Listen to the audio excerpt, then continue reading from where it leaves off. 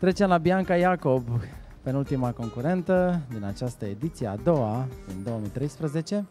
Are 15 ani, e din Fetești și ea își dorește să lucreze în televiziune și, atenție, la 15 ani are ca pasiune cătitul.